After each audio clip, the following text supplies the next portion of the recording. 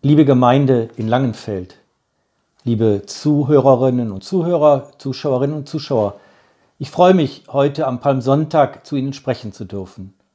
Leider können wir heute nicht in die Kirche gehen, können nicht mit Palmzweigen eine Prozession machen und Jesus Christus eben so verehren, so wie wir es gewohnt sind an diesem Tag.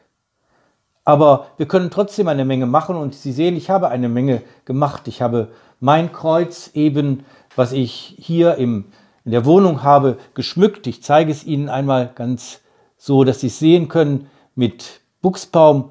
Ich habe meine Osterkerze von dem letzten Jahr versucht zu schmücken und auch Blumen aufgestellt mit Buchsbaum. Das ist unsere Möglichkeit, jetzt eben den Palmsonntag zu begehen selber die Zweige mit Weihwasser zu segnen oder auch so sie einfach ins Wasser zu stellen, weil wir glauben, dass der Segen Gottes weiter reicht als alle Möglichkeiten, die wir haben. Und dann können wir an diesem Tag eben im Evangelium lesen. Wir können lesen, was eben für diesen Tag geschrieben ist. Dieses Jahr ist es das 21. Kapitel des Matthäusevangeliums. Einen kurzen Abschnitt möchte ich Ihnen vorlesen. Die Jünger gingen und taten, wie Jesus ihnen aufgetragen hatte. Sie brachten die Eselin und das Fohlen, legten ihre Kleider auf sie und er setzte sich darauf.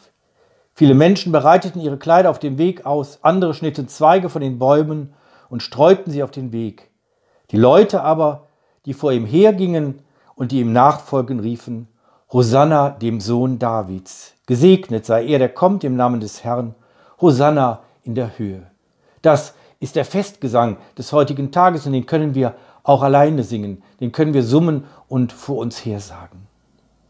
Von der Theologin Dorothee Sölle gibt es einen wunderbaren Text, den sie geschrieben hat über den Palmsonntag und über den Esel, der eben Jesus getragen hat hinein nach Jerusalem. Und sie schreibt, lass mich dein Esel sein, Christus.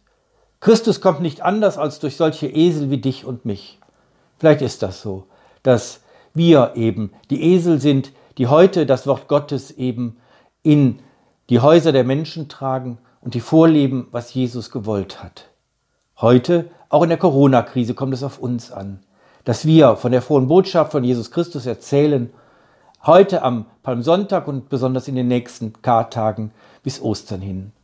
Wir haben für Sie Palmzweige vorbereitet und wir haben auch einiges anderes für Sie in den nächsten Tagen vorbereitet. Schauen Sie in die Kirchen in Ihrer Umgebung in Langenfeld. Gehen Sie hinein, alleine natürlich und mit Vorsicht, aber schauen Sie, was wir alles für Sie überlegt haben. Ihnen allen heute einen gesegneten Sonntag und dann eine wunderbare von Gott gesegnete Kar- und Osterwoche.